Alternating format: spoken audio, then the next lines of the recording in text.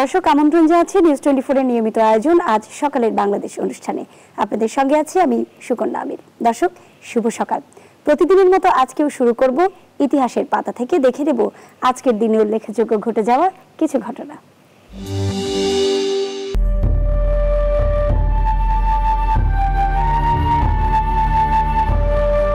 আজ মঙ্গলবার, নয় মার্চ দুই হাজার একুশ। চব্বিশ ফাল্গুন চোদ্দশো সাতাশ বঙ্গাব্দ, চব্বিশ রজব চোদ্দশো বিয়াল্লিশ হিজড়ি। এক হাজার চুয়াত্তর সালের এই দিনে পোপ সপ্তম গ্রেগরি বিবাহিত পাদ্রীদের ধর্মচ্যুত করেন। চোদ্দশো একান্ন সালের এই দিনে আমেরিগো ভেসপুচির জন্ম। তার নামেই আমেরিকার নামকরণ করা হয়। আঠারোশো আটান্ন সালের এই দিনে সম্রাট বাহাদুর শাহ জাফর রেঙ্গুনে নির্বাসিত হন। উনিশশো সালের এই দিনে ব্রিটিশ সেনারা দায়িত্ব পালনকালে বা অন্য সময়ে চশমা ব্যবহারের অধিকার পায়। উনিশশো চুয়াল্লিশ সালের এই দিনে মার্কিন বাহিনী দিবালোকে বার্লিনে বোমাবর্ষণ শুরু করে। উনিশশো একষট্টি সালের এই দিনে সোভিয়েত ইউনিয়ন স্পুটনিক নয় নভোযানের মাধ্যমে মহাশূন্যে প্রথমবারের মতো লাইকা নামের একটি কুকুর প্রেরণ করে। আঠারোশো নয় সালের এই দিনে জন্ম নেন মরমী কবি পাগলা কানায় আঠারোশো বারো সালের এই দিনে কবি সম্পাদক ঈশ্বর গুপ্তের জন্ম হয়। উনিশশো সালের এই দিনে জন্ম নেন রুমানিয়ার লেখক মির্জা আলিয়াদ। উনিশশো সালের এই দিনে বাংলাদেশের আঠারোতম রাষ্ট্রপতি জিল্লুর রহমান জন্ম নেন। উনিশশো সালের এই দিনে জন্ম নেন বাংলাদেশের স্বনামধন্য চিত্রশিল্পী কাইয়ুম চৌধুরী। একই বছর মহাশূন্যে প্রথম নভোচারী মানব ইউরি গ্যাগারিনের জন্ম হয়। আঠারোশো আটান্ন সালের এই দিনে কবি, পণ্ডিত ও নাট্যকার মদনমোহন তর্কালঙ্কের মৃত্যু হয়। আঠারোশো সাতানব্বই সালের এই দিনে প্যান ইসলামিক আন্দোলনের অন্যতম নেতা জামাল উদ্দিন আফগানির মৃত্যু হয়। সালের এই দিনে মৃত্যুবরণ করেন ভারতের চলচ্চিত্র অভিনেতা ও পরিচালক জয় মুখার্জি।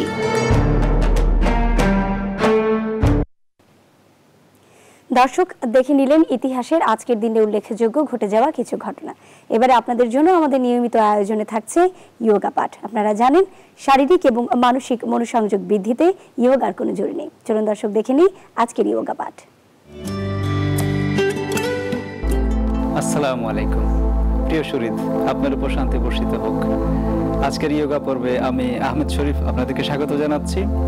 সুস্থ দেহ, প্রশান্ত মন, কর্মব্যস্ত সুখী জীবনের এই অভিযাত্রায় আপনিও অংশগ্রহণ করেছেন এই জন্য আপনাকে আবার অভিনন্দন। আমার সঙ্গে আছেন সাইকোলজিস্ট মোকাররামা, আছেন নৌসাদ চলুন তাহলে আজকের পর্ব আমরা শুরু করি। আজকে আমরা একটা আসন চর্চা করব, সেই সঙ্গে আমরা একটা প্রাণায়াম চর্চা করব। যে প্রাণায়ামটা আমাদের জন্য খুবই উপকারী, বিশেষ করে স্ট্রেস, টেনশন দূর করার জন্য, স্থির হওয়ার জন্য। তো আজকে আমরা যে আসনটার উপরে কনসেন্ট্রেট করব, সেই আসন হচ্ছে পদহস্তাসন বা হস্তপদাসন। পদটাকে আপনি আগে বলেন, অথবা হস্তটাকে আপনি আগে বলেন, একই জিনিস হস্ত পদাসন বা পদ হস্তাসন তো পদ মানে হচ্ছে পা, হস্ত মানে হচ্ছে হাত সংস্কৃতে। তো এই পদ, হস্ত, এই দুটো মিলেই হচ্ছে পদহস্তাসন। অর্থাৎ যে আসনে হস্ত দিয়ে পদটাকে, পাটাকে ধরা হয়, সেই আসনের নাম হচ্ছে পদহস্তাসন বা হস্তপদাসন। স্টর্ক পশ্চার ইংরেজিতে বলে স্টর্ক। স্টর্ক মানে হচ্ছে এক ধরনের পাখি, যেটা সারস জাতীয় পাখি। তো এই পাখিটা আমরা বক জাতীয় পাখিও বলতে পারি। এই, এইরকম একটা পজিশন হয়, এই জন্য এটাকে বলা হয় স্ট্রক পোস্টার তো পদ হস্তাসন বা stroke posture how to do it আমরা এখন ধাপে ধাপে এইটাকে দেখব যে কীরকম করে করতে হয়। এই আসনটা আমরা দাঁড়িয়েই করব এবং দাঁড়ানোর ক্ষেত্রে নিয়মটা কী হবে সেটাও আমরা বলব এবং চমৎকার একটা দৈহিক ব্যালেন্স দেখবে যে আপনার বৃদ্ধি পাচ্ছে যখন এই আসনটাকে অনুশীলন করবেন চলুন তাহলে আমরা আসনটা শুরু করে দিই। আমরা বসা অবস্থায় আছি, এই অবস্থা থেকে আমরা ধীরে ধীরে দাঁড়িয়ে যাই। হ্যাঁ দাঁড়ানোর নিয়ম অনুসারে আমরা দাঁড়িয়ে যাই। নীল ডাউন পা সামনে নিয়ে আসি, ধীরে ধীরে উঠে পড়ে। ম্যাটের উপরে আমরা বসি। দাঁড় সরি, দাঁড়াই।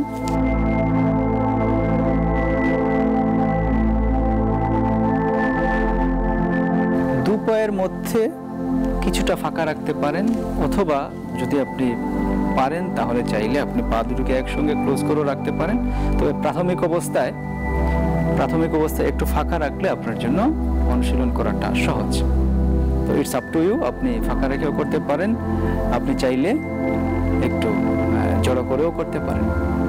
তো এই হলো আমাদের দাঁড়ানোর অবস্থা। আমরা দাঁড়ালাম, দাঁড়িয়ে আমাদের স্থির থাকতে হবে। অর্থাৎ যখন, যখনই আমরা যে ধরনের আসন করছি, সেটা দাঁড়িয়ে হোক, বসে হোক, আমাদের মেরুদণ্ডটা যেন স্ট্রেট থাকে প্রাথমিক অবস্থায়। তো আমাদের মেরুদণ্ড স্ট্রেট আছে, আমরা দাঁড়িয়ে আছি, সহজভাবে টেনশন ফ্রি এবার আমরা ধীরে ধীরে আসনের দিকে যাব। আসনটা কীরকম করতে হবে প্রথমে আমরা ধীরে ধীরে হাতটাকে উপরের দিকে তুলব, তুলে তারপরে আস্তে আস্তে আমাদের সামনের দিক, অর্থাৎ কোমর থেকে উপরের অংশ, এটা সামনের দিকে চলে যাবে। আমাদের কপাল, নাক কিংবা এই অংশটুকু আমাদের হাঁটুতে লাগানোর চেষ্টা করব। এবং হাত দিয়ে আমাদের পদটাকে, অর্থাৎ পাটাকে আমরা ধরবো। এবং চমৎকার একটা ভঙ্গিমা হবে। প্রিয় দর্শক, আপনারা যখন দেখবেন, ভালো লাগবে। এবং এটা আপনার উপকারের ক্ষেত্রে অনেক সহযোগিতা করবে। উপকারগুলো আমরা একটু পরে বলছি। তাহলে আমরা ধীরে ধীরে হাত দুটোকে উপরের দিকে তুলি। দুই হাত উপরে তুলি। দুই হাত উপরে হ্যাঁ উঠছে উঠছে হ্যাঁ হ্যাঁ, উপরের দিকে তুলতে থাকেন। এই কানের সঙ্গে বাহু লাগানো থাকছে। প্রিয় দর্শক খেয়াল করবেন কানের সঙ্গে বাহুটা লাগানো থাকবে কানের সঙ্গে বাহুটা লাগানো থাকছে। এবার যে কাজটা করতে হবে এবং আমাদের আরেকটা জিনিস খেয়াল করতে হবে প্রিয় দর্শক যে আমাদের বুড়ো আঙুল দুটোকে যদি আমরা এক করে রাখতে পারি এটা আমাদের জন্য অনেক উপকার। তো এটা রাখতেই হবে এমন কোনো কথা নেই। রাখলে সুবিধাটা কি? অনেকের কি হয়? আপনার হাতটা এরকম হয়ে যায় কারও এরকম হয়ে যায়। হ্যাঁ, এই যে সামনে পেছনে চলে যায় এটা থেকে আপনি মুক্তি পাবেন। এ কারণে আপনি যদি এই আঙ্গুল দুটোকে এরকম করে রেখে দিতে পারেন ঝামেলা মুক্ত তো এইভাবে আপনি চাইলে রেখে দিতে পারেন হাতের পজিশন এবার আমরা আস্তে আস্তে কোমর থেকে উপরের অংশ সোজা রেখে যতটুকু সোজা রেখে করা যায় আমার সামনের দিকে ঝুঁকবো, ধীরে ধীরে আমরা সামনের দিকে ঝুঁকে হ্যাঁ সামনের দিকে ঝুঁকে। এবার হাত দিয়ে, হস্ত দিয়ে আমাদের পাটাকে আমরা ধরি। হ্যাঁ পাটাকে ধরলাম। এটা একটা ফেজ একটা স্টেজ এরপরে আমরা ধীরে ধীরে আমাদের মাথা, কপাল, নাক, যাই বলে এটাকে হাঁটুতে লাগানোর চেষ্টা করব। হ্যাঁ এবার একটু নাক লাগানোর চেষ্টা করি। এবং দুই হাত দিয়ে পেছন দিকটা আমরা একটু ধরে রাখি এবার আস্তে আস্তে আগের পজিশনে চলে আসব। আমরা ধীরে ধীরে চলে আসি। হ্যাঁ চলে আসি। হ্যাঁ আস্তে আস্তে। উঠে পড়ি। গুড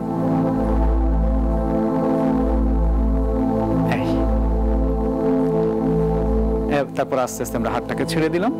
যেভাবে গিয়েছিলাম, সেইভাবে আমরা হাতটাকে ছেড়ে দিলাম। প্রিয় দর্শক, আমরা দেখলাম যে এটা কি, কীরকম করে করতে হয়। অর্থাৎ আমরা হাত উপরে তুললাম কানের সঙ্গে বাহু লাগানো থাকছে, বডিটা অনেকটা হাত যখন উপরের দিকে আপনি তুলছেন তখন টান টান অবস্থায় থাকছে। এরপরে আমরা কোমর থেকে উপরের অংশটুকুকে সোজা রেখে, অর্থাৎ এটাকে কিছু না করে আমরা ধীরে ধীরে সামনের দিকে ঝুঁকলাম। এই অংশটুকুতে আমাদের হাঁটুতে লাগানোর চেষ্টা করলাম। তারপরে হাত দিয়ে পাটাকে ধরলাম, পায়ের উপরের অংশ। এবং পরে যখন আমরা এই মাথাটা বা কপালটা আমরা লাগাচ্ছি হাঁটুতে, তখন হাতটা পেছন দিকে চলে যাচ্ছে। এই হচ্ছে আমাদের মোটামুটি এই আসনের অনুশীলন। আমরা একটু বসে যাই। প্রিয় দর্শক, আমরা সময় সুযোগ পেলে এই আসনটাকে আরেকবার দেখানোর চেষ্টা করব। পদহস্তাসন, কি লাভ?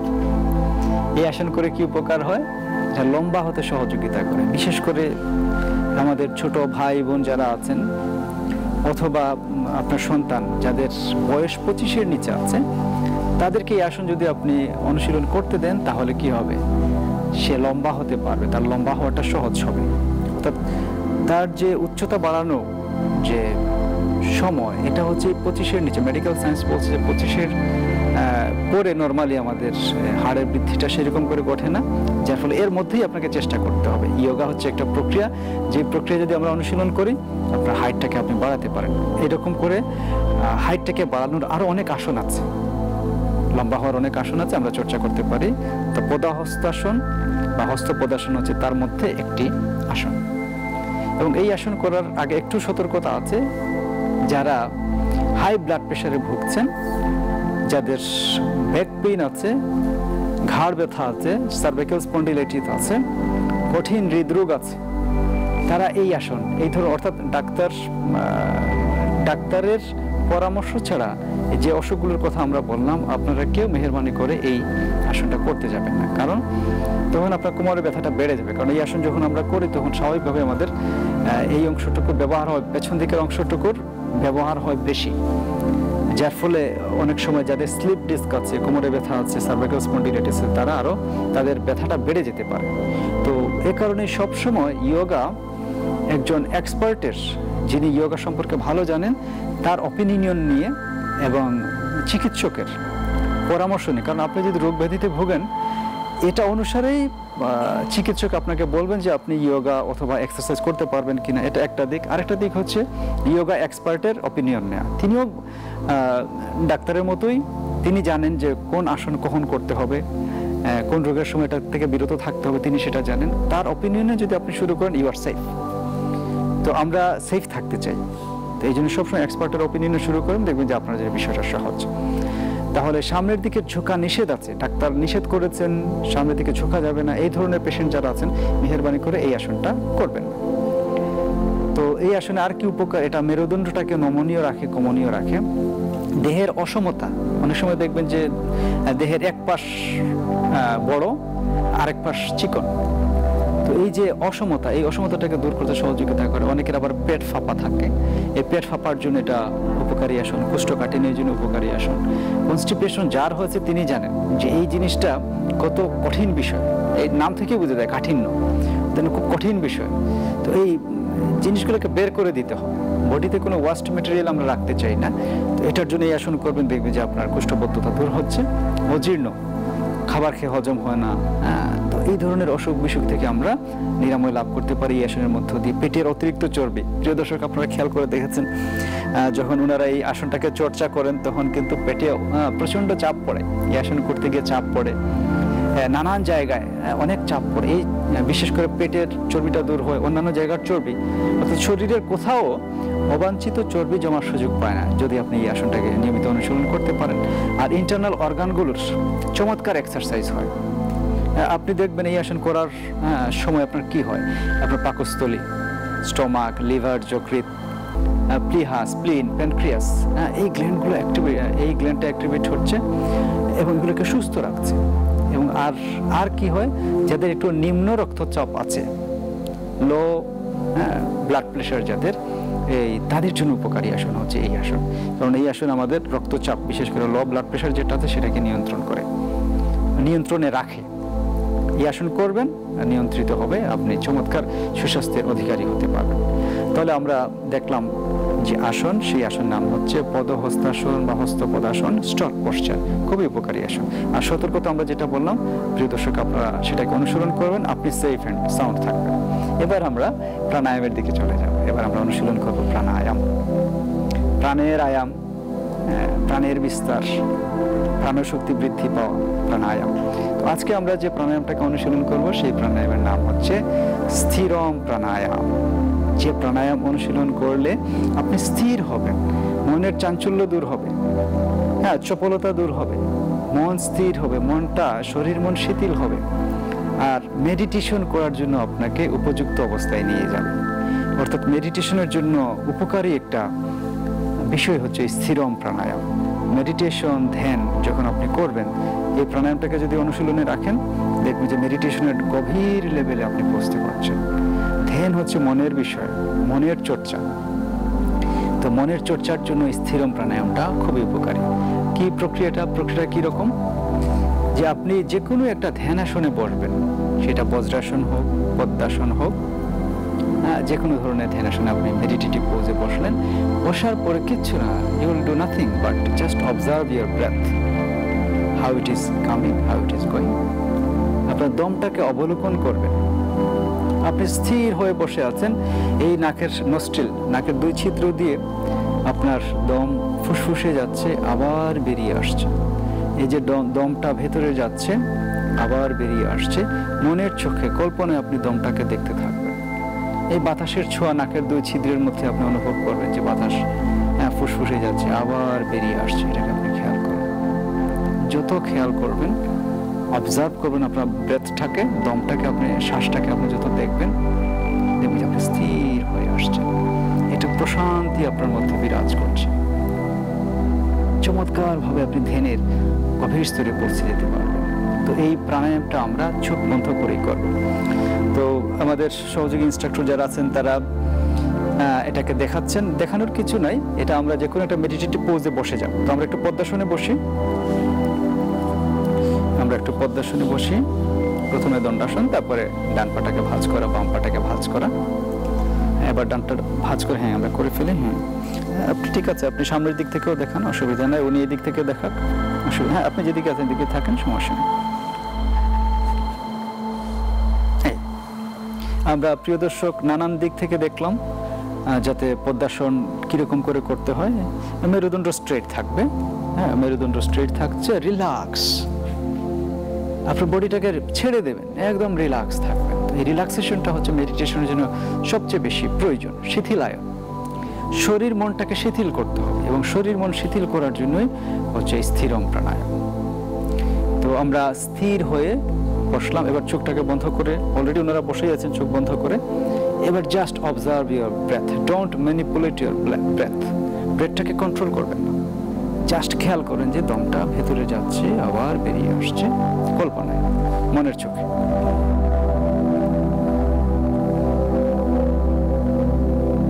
হ্যাঁ আমরা তাহলে দেখলাম যে দমটাকে জাস্ট অবজার্ভ করা হচ্ছে দমটাকে জাস্ট অবজার্ভ করা হচ্ছে আর কিছুই করা হচ্ছে হ্যাঁ, এই পৃথিবীতে কিছুই নাই।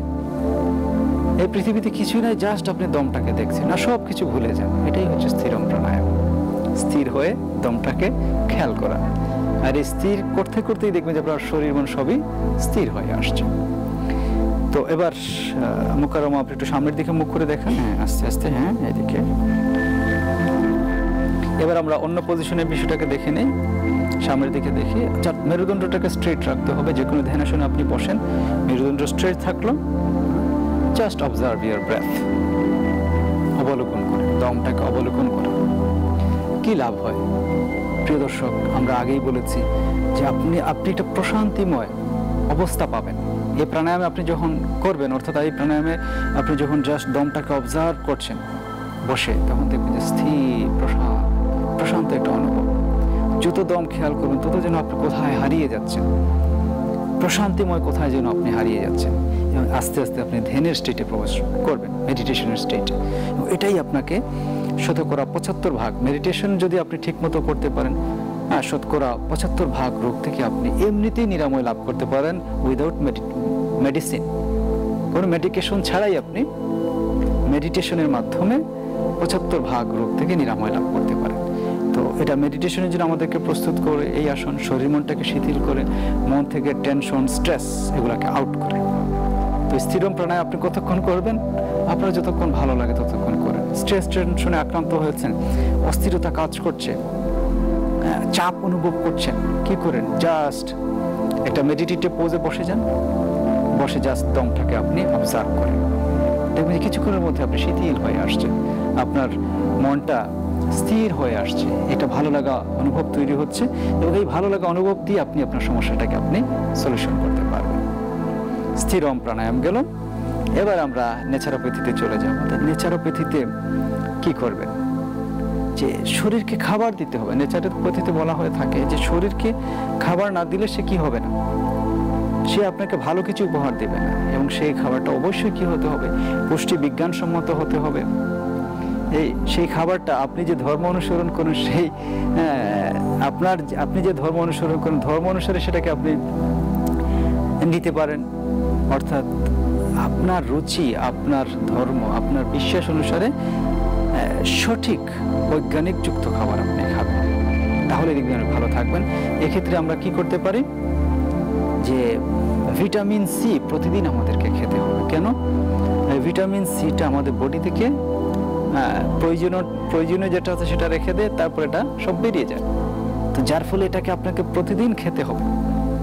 ভিটামিন সি প্রতিদিন আপনাকে খেতে হবে এবং মানব শিশু পৃথিবীতে এই একটা দুর্বলতা নিয়ে পৃথিবীতে জন্মগ্রহণ করে, একটা ভিটামিনের অভাব নিয়ে পৃথিবীতে জন্মগ্রহণ করে, অর্থাৎ এটা তাকে নিতে হবে, ওকে খেতে হবে।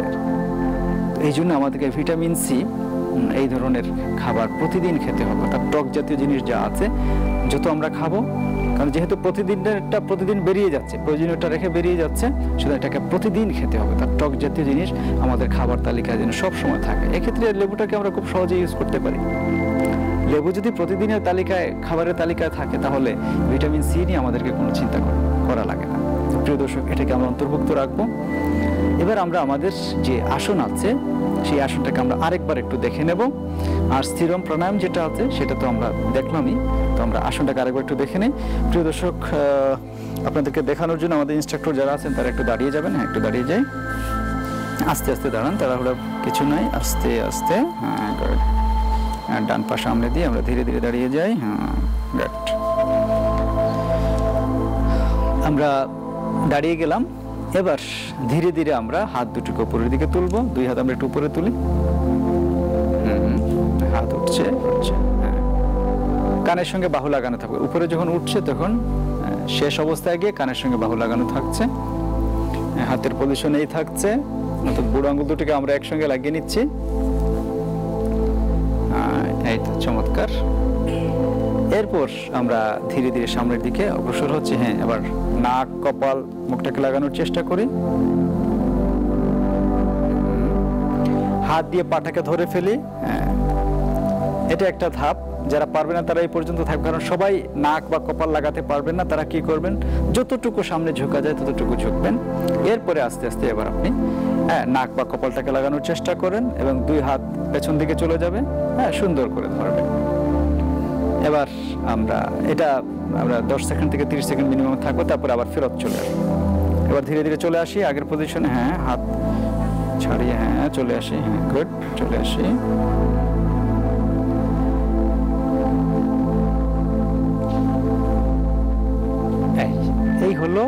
হ্যাঁ এবার হাত ছেড়ে দিই।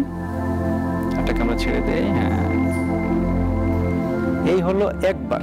এরকম করে আমরা এই আসনটাকে তিন থেকে পাঁচবার করতে পারি এবং সময় নেব কমপক্ষে দশ সেকেন্ড থেকে তিরিশ সেকেন্ড প্রতিবার। এটাকে আমরা এবার এই দিক থেকে একটু একটু আমাদের হ্যাঁ এদিকে আরেকবার একটু প্রিয় দর্শক দেখে নিই, ভালো করে। হ্যাঁ দুই হাত উপরে তুলি হ্যাঁ দুই হাত দুই হাত উপরে। কানের সঙ্গে বাহু লাগানো থাকবে।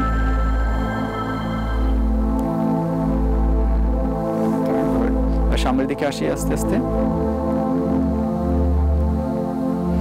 হ্যাঁ হাত দিয়ে পাটাকে আমরা ধরি। হ্যাঁ এবার সেকেন্ড স্টেপ যারা একটু ভালো পারবেন, তারা কি করবেন? হ্যাঁ পেছন দিকটা ধরেন, নাক লাগান গুড এবার আস্তে আস্তে আগের পজিশনে আমরা চলে আসি। হ্যাঁ আস্তে আস্তে চলে আসি। হ্যাঁ গুড গুড এবার ধীরে ধীরে হাতটাকে আমরা ছেড়ে দেই। স্বাভাবিক অবস্থায় দাঁড়াই, তারপরে ধীরে ধীরে আমরা পদ্মাসনে বসি। প্রিয় দর্শক, আমরা দেখলাম একটা আসন, একটা প্রাণায়াম। হস্ত পদাসন বা পদ হস্তাসন এটাকে আমরা অনুশীলনে রাখব। আর একটা দেখলাম আমরা প্রাণায়াম, যে প্রাণায়ামটা আমাদের মনটাকে, শরীরটাকে স্থির করতে সহযোগিতা করে। স্থিরম প্রাণায়াম এবং শরীরে ভিটামিন সি ঢোকাতে হবে। এটা বডিতে থাকে না, প্রয়োজনীয় অংশটা রেখে দিয়ে চলে যায়। এটা আমরা নিশ্চিত করব, আমাদের খাবার দাবারের টক জাতীয় জিনিস আমরা অন্তর্ভুক্ত করব। আমরা চমৎকার সুস্বাস্থ্যের অধিকারী হতে পারব। তো প্রিয় দর্শক, আপনারা সবাই সুস্বাস্থ্যের অধিকারী হন, সুস্থ দেহ, প্রশান্ত মন, কর্মব্যস্ত, সুখী জীবনের অধিকারী হন। সেই প্রত্যাশায় আজকের ইয়োগা পর্ব আমরা এখানেই শেষ করছি। পরবর্তী পর্বে আবারও দেখা হবে। ভালো থাকুন, সুস্থ থাকুন, আনন্দে থাকুন। আল্লাহ হাফেজ। দর্শক, দেখছিলেন ইয়োগা পাঠ। এ পর্যায়ে নিচ্ছি ছোট্ট একটি বিরতি। কোথাও যাবেন না, ফিরছি একটু পর। সঙ্গে থাকুন। দর্শক, বিরতির পর আরও একবার স্বাগত। আজ সকালের বাংলাদেশ অনুষ্ঠানে। দর্শক, আপনারা জানেন এই পর্যায়ে আপনাদের জন্য আমাদের নিয়মিত আয়োজনের মধ্যে রয়েছে সংবাদপত্র পর্যালোচনা। তবে তার আগে দর্শক, দেখে নেব আজকের কিছু সংবাদপত্রের শিরোনামগুলো। দর্শক, শুরু করব বরাবরের মতো বাংলাদেশ প্রতিদিন দিয়ে এবং বাংলাদেশ প্রতিদিনে যে সকল শিরোনাম হয়েছে, তার মধ্যে উল্লেখযোগ্য। মুস্তাকির কুমির খামারি পিকে হালদারের ঋণের বোঝা এবং বেশ কয়েকটি শিরোনামের মধ্যে রয়েছে, আইনের ঊর্ধ্বে কেউ নয়, এই বার্তা দিয়েছি, দেশে আজ নারী অধিকার ভুলণ্ঠিত। দুর্নীতির কারণে নারীর ঝুঁকি বেশি বলছেন বিশেষজ্ঞরা এবং প্রধানমন্ত্রী শেখ হাসিনা বলেছেন, নারীর অধিকার আদায় করে নিতে হবে। দর্শক, চলে যাচ্ছে কালের কণ্ঠ পত্রিকায়। কালের কণ্ঠ পত্রিকার প্রধান যে শিরোনাম করা হয়েছে, প্রবাসে দশ লাখ নারী কর্মী, দুর্দশায়ও টাকা পাঠান তারা। এবং আলোচনা সভায় শেখ হাসিনা শেখ হাসিনা বলেছেন, জিয়া পাকিস্তানের পক্ষে পঁচিশে মার্চ বাঙালিদের হত্যা করেছে। চলে যাচ্ছি প্রথম আলো পত্রিকা এবং প্রথম আলো পত্রিকা যে সকল শিরোনাম রয়েছে, তার মধ্যে উল্লেখযোগ্য, বিটিআরসির নিলাম, তরঙ্গ নিলাম শেষ, বেশি নিল জিপি। এবং গুচ্ছ ভিত্তিতে ভর্তি পরীক্ষা বিশ্ববিদ্যালয়ের আবেদন এক এপ্রিল শুরু। দৈনিক সমকাল পত্রিকায় যে শিরোনামগুলো রাখা হয়েছে, নৌকার জন্য ছোটাছুটি সাতই মার্চের ভাষণের মর্ম বুঝবে না বিএনপি, বলছেন প্রধানমন্ত্রী শেখ হাসিনা। এবং আরেকটি যেটি শিরোনাম রাখা হয়েছে, জঙ্গি সংগঠনের টার্গেটে তৃতীয় লিঙ্গের মানুষ। ডেলিসান। ডেলিসানের যে প্রধান শিরোনাম রাখা হয়েছে militants laundering money using cryptocurrency এবং আরেকটি শিরোনাম রয়েছে Bangabandhu a towering figure of twenty century the daily স্টারে চলে যাচ্ছি আমরা এবং এখানের যে প্রধান শিরোনাম রাখা হয়েছে major perils not there yet pandemic exposed inherent weakness says health minister দর্শক, চলে যাচ্ছে অনলাইন পত্রিকা Bangla news twenty four dot কমে এবং সেখানেও শিরোনাম রাখা হয়েছে বিটিআরসির তরঙ্গ নিলাম শেষ, পাঁচ মেগাহার্টস নিয়ে গ্রামীণ রবির যুদ্ধ। দ্য নিউ ইয়র্ক টাইমসের শিরোনাম দিয়ে শেষ করব। Number of migrant children detained at Boj tripled in two weeks. দর্শক, এই ছিল আমাদের কাছে পত্রিকার কিছু শিরোনাম। এই পর্যায়ে চলে যাচ্ছি সংবাদপত্র পর্যালোচনায়। আমাদের সঙ্গে যুক্ত হচ্ছেন জাহাঙ্গীরনগর বিশ্ববিদ্যালয়ের শিক্ষক doctor A K M Shahnewaz. Doctor A K M Shahnewaz আপনাকে স্বাগত জানাচ্ছি আজ সকালের বাংলাদেশ অনুষ্ঠানে। আপনার সাথে প্রথমে আলোচনায় একটু জানতে চাই যে বাংলাদেশ প্রতিদিনে আজকে বেশ কয়েকটি শিরোনামের মধ্যে উল্লেখযোগ্য রয়েছে। বিশেষজ্ঞরা বলছেন দেশে আজ নারী অধিকার ভুলণ্ঠিত এবং দুর্নীতির কারণে অনেক নারীরাই ঝুঁকিতে পড়ছেন। আহ, আমরা জানি যে আমরা ঠিক গতকালকে অর্থাৎ সোমবার বিশ্ব নারী দিবস পালন করেছি। বিভিন্ন মর্যাদায় বিভিন্ন অনুষ্ঠানের মধ্য দিয়ে এবং বিভিন্নভাবে বিজয়ী নারীদের হাতেও পুরস্কার তুলে দেওয়া হয়েছে।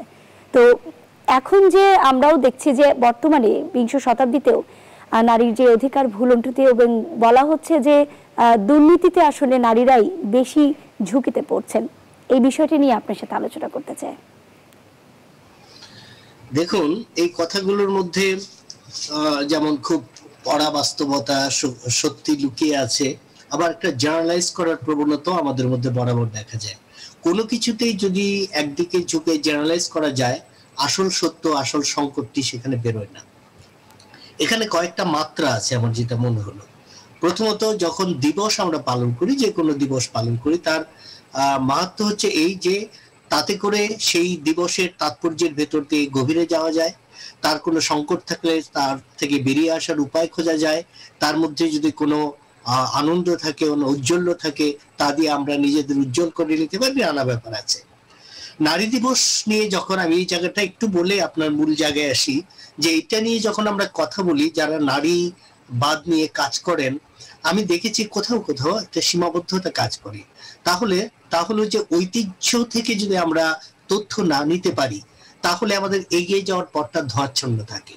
আমাদের প্রায় আমি বলতে শুনি, মধ্যযুগ, অন্ধকার ইত্যাদি ইত্যাদি একেবারেই অনৈতিহাসিক কথা। মধ্যযুগে আমাদের বাংলায়, বাংলা সাহিত্যগুলো যদি দেখি, দেখব যে নারী অনেক এগিয়ে যাওয়া নারী ছিল তখন। পিছিয়ে যাওয়া নারীও ছিল, সমস্ত মানুষই তাই ছিল, নারী পুরুষ বলে নয়। কিন্তু যারা এগিয়ে গিয়েছিলেন, তাদের কথা কিন্তু সামনে আলোতে আসে না, আমরা আনতে পারি না। তো সেইগুলো একটা সমস্যা আছে এবং যে কারণে আমরা খুব জেনারেল একটা মন্তব্য করে ফেলতে পারি যে অমুক অধিকার ভুলুণ্ঠিত বা ইত্যাদি। হ্যাঁ ভুলুণ্ঠিত হচ্ছে। এটা থেকে বের করার জন্য যে উপায়গুলো আপনার শেষটা আমার লক্ষ্য করলাম আপনার যে বক্তব্যে, যে তৃতীয় লিঙ্গের নারীরা জঙ্গিবাদে জড়িয়ে পড়ছে। এগুলো আমি এইভাবে দেখতে চাই। শুধু এই না, এরকম অনেক সংকট হয়েছে অতীতে আমাদের এখানে রাজনৈতিক কারণে। যদি এই যে অবহেলিত তৃতীয় লিঙ্গের নারী, এর কাছে যে সুস্থ ধারার আমরা এগিয়ে যেতে পারতাম, তাদের সামনে যদি আমাদের, আমরা তাদের নির্ভরতা দিতে পারতাম, তাহলে কিন্তু এই অন্ধকার শক্তি তাদের জড়াতে পারতো না। নিজেদের ব্যর্থতাটা আগে দেখতে হবে। এই ব্যর্থতা থেকে যদি আমরা শিক্ষা নিতে পারি বেরিয়ে আসতে পারি, তাহলে কিন্তু এই আশঙ্কাগুলো, ঠিক একইভাবে আমার ঠিক পরিষ্কার নয় সংবাদপত্রের ওই লাইনটি যে দুর্নীতির জন্য নারীরা কি ক্ষতিগ্রস্ত এরকম একটা লাইন আপনি বলেছিলেন। সেটা কীভাবে আমি ঠিক জানি না, সেটার ব্যাখ্যাটা কি আমি পড়িনি সেই সংবাদের ভেতরটি। কিন্তু আমরা দেখেছি দুর্নীতিতে যেমন পুরুষ জড়াচ্ছে, নারী জড়াচ্ছে, এটি আলাদা পুরুষ নারী হিসেবে দেখানোর কোনো কারণ নেই। আবার সেগুলোর কারণে মাঝে মাঝে সহিংসতায় আহ নারীকে মুখোমুখি হতে হয়েছে ক্ষতিগ্রস্ত হচ্ছে। আমরা তো এটা জানি যে ইতিহাসের যাত্রা শুরুতে সভ্যতার যাত্রা শুরুতে নারী কিন্তু সামনের সারিতে ছিল। এবং তারা কৃষি সভ্যতা থেকে শুরু করে নানা কিছুতে নেতৃত্ব দিয়েছে। তারপর এক সময় তাদের আহ, ওই অর্থে সাইকোলজিক্যালি বা শক্তির দিক থেকে পরাজিত করেছে পিছিয়ে পড়েছে নারী। এবং পুরুষতান্ত্রিক যে শক্তি সেটা জাকিয়ে বসেছে। বাংলাদেশে নয় বিশ্ব জুড়েও। এটা হয়েছে এবং এখান থেকে নারীর উত্তরণ কিন্তু ঘটছে। আজকে পৃথিবীতে কোথায় নেই নারী উচ্চতর জায়গায় পৌঁছে যায়নি এবং অনেক জায়গায় নেতৃত্ব হয়েছে আমাদের দেশে আমি শিক্ষক হিসেবে দেখেছি, বিগত অনেকগুলো বছর ধরে নারী পড়াশুনোর দিক থেকে, ফলাফলের দিক থেকে একেবারে নির্দ্বিধায় বলা যায় অনেক এগিয়ে আছে ছেলেদের চেয়ে। ছাত্রের চেয়ে আমাদের, ছাত্রীরা এগিয়ে আছে। ফলে এটি এগুলো। সেইখানে যদি সংকট থাকে, সেটা কিন্তু নারী, পুরুষ অনেকের মধ্যেই নানা রকম সামাজিক পারিপার্শ্বিক সংকটগুলো আছে। আবার অনেকের দৃষ্টিভঙ্গিগত সমস্যা আছে। সেইগুলো বড় করে না দেখে নারীকে ক্ষুদ্র করে ফেলা, দুর্বল করে ফেলা এটা আমার কাছে বিবেচ্য নয় কখনো। বরঞ্চ নারীকে এগিয়ে নেওয়ার জন্য আর যা যা সুযোগগুলো আছে, সেই সব সুযোগগুলো আমরা ব্যবহার করতে পারি, আমরা নিয়ে আসতে পারি এবং নারী যে নিজেই শক্তিমান, সেও আমাদের জন্য সুযোগ করে দিতে পারে নারী। এই বাস্তবতার কাছাকাছি কিন্তু আমরা। সেই জায়গাগুলো কিন্তু আমাদের বলতে হবে। নারীকে মানসিকভাবে দুর্বল করে দেওয়ার কোনো মানে হয় না। আমি মনে করি নারী দিবস বা অধিকার নিয়ে যদি কোনো কথা থাকে, বক্তব্য থাকে, সেগুলো বলার সময় আমার ভাবা উচিত নারীকে ক্ষুদ্র করে যাতে না দেখি। নারীরও শক্তি আছে, সেই শক্তি দিয়ে আমাদেরও বৃহৎ করতে পারে, পুরুষকেও বৃহৎ করতে পারে। এই চিন্তাগুলো যাতে আমাদের সামনে আসে তাহলেই আমরা প্রকৃত সত্যটাকে যদি দেখি, তাহলে কিন্তু এত অস্বস্তি আমাদের মধ্যে কাজ করবে না। ডক্টর শাহনওয়াজ, আরেকটি ছোট্ট করে আলোচনায় আনতে চাই যে আপনি জানেন যে সমকাল পত্রিকায় কিন্তু একটি শিরোনাম করা হয়েছে। জঙ্গি সংগঠনের টার্গেটে তৃতীয় লিঙ্গের মানুষ। আনসার আল ইসলাম ধর্ম শিক্ষার নাম করে যারা হতাশাগ্রস্ত আসলে তৃতীয় লিঙ্গের মানুষেরা তাদেরকে নিয়ে বিভিন্ন রকমের সংগঠন তৈরি করে এই জঙ্গি সংগঠনে ব্যবহার করছেন নানাভাবে। আমরা জানি যে সরকার থেকে এবং বেসরকারি বেশ কিছু প্রতিষ্ঠানে তৃতীয় লিঙ্গের মানুষদের সামাজিক উন্নয়নের জন্য কাজ করে যাচ্ছে। সেই জায়গায় যদি ধর্মশিক্ষার নাম করে তাদেরকে অপব্যবহার, তাদের যেই জঙ্গি সংগঠনে তাদেরকে কাজে লাগানোর একটা ফাঁদ তৈরি করা হচ্ছে, এর থেকে আসলে উত্তরণের পন্থাটা কি হতে পারে? আপনার কাছে কি মনে হয়? দেখুন আমি কিন্তু শুরুতে একটু ইঙ্গিত করেছিলাম, আপনার কথাটা একটু পরিষ্কার করে আমি যেটা বুঝি। তা হচ্ছে আনসারুল ইসলাম বা এরকম অন্ধকার শক্তি, তাদের আমি দোষ দিই না। কারণ তারা তো তাদের কাজ করবেই। যে পথে তারা হাঁটলে তাদের লাভ হবে, সেটা তারা করবে। কিন্তু তাদের কাছ থেকে এই নারীদের মুক্ত করতে নারী কেন যাচ্ছে? কারণ তার সাথে, তার কাছে শুভ চিন্তাগুলো, ধর্মকেও সঠিকভাবে উপস্থাপন করার দায়িত্ব যাদের ছিল, তারা কিন্তু করতে পারেনি। অর্থাৎ তাদের ফেইলিউর ওদের জয় মানে হচ্ছে এদের ফেইলিউর সুতরাং আমার পরামর্শ হচ্ছে যে, যারা শুভ চিন্তার ধর্মচর্চা করেন ধর্ম নেতা, তাদের যেমন বেরিয়ে আসতে হবে, তাদের পাশে দাঁড়াতে হবে। সরকার একটু একটু করছেন, এরকম নির্ভরতা বাড়াতে হবে। এরা যদি নিজের অসহায়ত্ব না বুঝতে পারে, যে না, আমি অসহায় নই, আমার খাওয়া পড়া চলাফেরা, আমার সম্মানের জায়গাটা সুরক্ষিত, এবং যদি মনে করে যে না, আমি যে ধর্মটাকে চিনি, প্রকৃত যে ধর্ম, তার সাথে এই সমস্ত অপশক্তির ধর্মীয় চিন্তাগুলোর ফারাক আছে, তখন সে নিজেই যাবে না। ওরা ওরা সফল হওয়া মানেই অন্যেরা ব্যর্থ হওয়া। শুভচিন্তার ব্যর্থতার কারণেই ওরা সফল হচ্ছে। কারণ ওরা কিন্তু অন্ধকারে থেকে কাজ করে ঘাপটি থেকে কাজ করে ওদের অসুবিধা অনেক বেশি। আর আমরা সুবিধাজনক জায়গায় আছি সেটা করতে পারি না। একটা উদাহরণ দিয়ে শেষ করি। ওই যে আপনার সবার মনে আছে যে আহ, সিরাজগঞ্জে সম্ভবত সাইদিকে চাঁদে দেখা যায়। এই নিয়ে উত্তপ্ত গ্রামবাসী এসে অনেক অনাচার করেছিল। কিন্তু গ্রামবাসীর দোষটা কোথায়? এই সাইদির কাছে সাইদি চাঁদে দেখা যায় বলে যারা তৎপরতা চালিয়েছে, মানুষকে বুঝিয়েছে, সাধারণ মানুষকে। তার আগে কেন আমাদের শুভ চিন্তার, সাংস্কৃতিক ব্যক্তি শক্তি বলার সংগঠন বলুন, সবাই তাদের কাছে আগে বুঝতে পারল না কেন? আসে নিজের ব্যর্থতাটাকে বুঝতে হবে, তারপরে অন্যদিকে দোষারোপ করতে হবে। আমি বরাবরই এইভাবে জিনিসগুলো দেখতে চাই এবং আজকেও তৃতীয় লিঙ্গের মানুষকে নিয়ে যা আমরা যে দুশ্চিন্তায় পড়েছি, এই দুশ্চিন্তার কারণ কিন্তু আমরাই। আমরা তাদের কাছে পুষতে পারিনি, নির্ভরতা দিতে পারিনি এই শক্তিটা, অন্ধকার শক্তি তাদের নিয়ে নিচ্ছে কাছে। এইভাবে বোধহয় ভাবাটা উচিত আমি মনে করি। অসংখ্য ধন্যবাদ doctor A K M Shahnawaz. আজকের সংবাদপত্রে আপনার যুক্ত হবার জন্য। দর্শক সংবাদপত্র পর্যালোচনায় আজকে আমাদের সঙ্গে অতিথি হিসেবে যুক্ত হয়েছিলেন জাহাঙ্গীরনগর বিশ্ববিদ্যালয়ের শিক্ষক doctor A K M Shahnawaz. দর্শক, চলে যাচ্ছি আমাদের নিয়মিত আয়োজনের পরের সেগমেন্টে এ পর্যায়ে রয়েছে আজকের রাশিফল। রাশিফল জানাচ্ছেন জ্যোতিষবিদ কেসিপাল অসংখ্য ধন্যবাদ সেই সঙ্গে নিউজ টোয়েন্টি ফোরের পক্ষ থেকে সকল দর্শকদের জন্য আন্তরিক শুভেচ্ছা অভিনন্দন।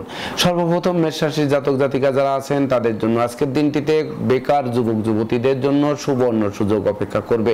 এমনকি কর্মের সুনাম যশ, কাঙ্ক্ষিত স্বপ্ন পূরণ করবে বা পদোন্নতির বাসনা পূরণ করবে। সেই সঙ্গে নিত্য নতুন ব্যবসা বাণিজ্যের পরিকল্পনা বাস্তবায়িত হবে। এবার বৃষ রাশির জাতক জাতিকা যারা আছেন, তাদের জন্য আজকের দিনটিতে বিশেষ করে ভাগ্য লক্ষ্মীর কৃপা বর্ষিত হবে। এমনকি দুর্যোগের মেঘ সহজেই দূরীভূত হবে। সেই সঙ্গে গৃহবাড়ি ফ্ল্যাট বাড়ি ভূমি সম্পত্তি ও যানবাহন ক্রয়ের স্বপ্ন পূরণের দিকে ধাবিত হবে। তাছাড়া প্রেম, রোমান্স, বিনোদন, বন্ধুত্ব শুভ, এমনকি সুদূর প্রসারী হবে। এবার মিথুন রাশির জাতক জাতিকা যারা আছেন, তাদের জন্য আজকের দিনটিতে ভ্রমণকালীন সতর্কতার সাথে চলাফেরা করতে হবে। নচেত চোর চিটিংবাজ অজ্ঞান পার্টি, লুটতরাজ প্রভৃতির খপ্পরে পড়ে যথা সর্বস্ব হারিয়ে ঠুটো জগন্নাথ হয়ে বাড়ি ফিরতে হতে পারে। তাছাড়া লটারি, জোয়ারে, শেয়ার হাউজিং প্রভৃতিতে বিনিয়োগ ঘাতক প্রমাণিত হতে পারে। এবার কর্কট রাশির জাতক জাতিকা যারা আছেন, তাদের জন্য আজকের দিনটিতে বিবাহযোগ্যদের বিবাহ, প্রেমী যুগলে প্রেমের স্বীকৃতি, এমনকি নিঃসন্তান দম্পতির কোল আলোকিত হয়ে উঠবে। সেই সঙ্গে গৃহবাড়িতে নতুন আসবাবপত্র, বস্ত্রালঙ্কার ও ইলেকট্রনিক সামগ্রীর প্রসরাস আসবে। সন্তান সন্ততির আজ্ঞাবহ হয়ে থাকবে। সেই সঙ্গে কোনো না কোনো পুরস্কারে ভূষিত হবে। এবার সিংহ রাশির জাতক জাতিকা যারা আছেন, তাদের জন্য আজকের দিনটিতে শরীর স্বাস্থ্য বিশেষ ভালো না থাকায় কোনো কাজে মন বসবে না। সেই সুযোগে শ্রমিক কর্মচারীরা সুযোগের সদ্ব্যবহার করতে পারে, এমনকি দুর্ঘটনা ও অপ্রীতিকর ঘটনা এড়াতে নিজেকে গুটিয়ে রাখতে হবে। সেই সঙ্গে ব্যবসা বাণিজ্যে বাড়তি ঝুঁকি নেওয়া ঠিক হবে না, এমনকি অপরিচিত কাউকে আশ্রয় দেওয়া, খাল কেটে কুমির আনার সমান হতে পারে। এবার কন্যা রাশির জাতক জাতিকা যারা আছেন, তাদের জন্য আজকের দিনটিতে বিশেষ করে শিক্ষার্থীদের জন্য নিত্য নতুন সুযোগ এসে হাজির হবে। তাছাড়া হারানো পিতৃ, মাতৃ, ধন সম্পদ, সম্পত্তি পুনরুদ্ধারের পথ প্রশস্ত হবে। কর্মের সুনাম যশ, কাঙ্ক্ষিত স্বপ্ন পূরণ করবে, এমনকি কর্ম ব্যাপদেশে কাছে পিঠে ভ্রমণ তো বটেই, সেই সঙ্গে দূর ভ্রমণে যাওয়ার সম্ভাবনা অনেকাংশে বেশি। এবার তুলা রাশির জাতক জাতিকা যারা আছেন, তাদের জন্য আজকের দিনটিতে প্রেম, রোমান্স, বিনোদন, বন্ধুত্ব শুভ, এমনকি সুদূর প্রসারী হবে। সেই সঙ্গে সহকর্মী ও অংশীদারদের কাছ থেকে প্রাপ্ত সহযোগিতা, আটকে থাকা কাজ সচল করবে, এমনকি ব্যবসা বাণিজ্যের গতিশীলতা বাড়াবে। ব্যবসার বহুল প্রচার ও প্রসারের দিকে ধাবিত হবে। তাছাড়া মালিক, ভাড়াটিয়ার মতানৈক্য দূরীভূত হতে পারে, তবে লৌকিকতায় ব্যয়ের মাত্রা সীমা অতিক্রম করবে। এবার বৃশ্চিক রাশির জাতক জাতিকা যারা আছেন তাদের জন্য। আজকের দিনটিতে গৃহবাড়িতে কোনো না কোনো মাঙ্গলিক অনুষ্ঠান অনুষ্ঠিত হবে। ভাই বোনদের কাছ থেকে প্রাপ্ত সহযোগিতার স্বপ্ন পূরণ নিশ্চিত করবে। কর্মের সুনাম যশ কাঙ্ক্ষিত স্বপ্ন পূরণ করবে। শত্রু ও বিরোধী পক্ষরা লেজ গুটিয়ে নিতে বাধ্য হবে, তবে শরীর স্বাস্থ্যের প্রতি তীক্ষ্ণ নজর রাখতে হবে। এবার ধনু রাশির জাতক জাতিকা যারা আছেন, তাদের জন্য আজকের দিনটিতে ধন উপার্জনের নিত্য নতুন সুযোগ এসে হাজির হবে। এমনকি দীর্ঘদিনের আটকে থাকা কাজ কোনো প্রভাবশালী ব্যক্তির সহযোগিতায় সচল হওয়ায় দিনটি বেশ মৌজ মস্তিতে কাটবে। সেই সঙ্গে সন্তানদের কেরিয়ার, অধ্যয়ন, স্বাস্থ্য বিষয়ক দুশ্চিন্তার অবসান ঘটবে। এমনকি জীবন সাথী ও শ্বশুরালয় থেকে প্রচুর সহযোগিতা পাবেন। এবার মকর রাশির জাতক জাতিকা যারা আছেন, তাদের জন্য আজকের দিনটিতে দুর্যোগের মেঘ সরে গিয়ে সুদিনের সূর্য উদিত হবে। হাত বাড়ালেই নিত্য নতুন সুযোগ এসে হাজির হবে। সেই সঙ্গে দীর্ঘদিনের কাঙ্ক্ষিত স্বপ্ন স্বপ্নসাদ পূরণের দিকে ধাবিত হবে।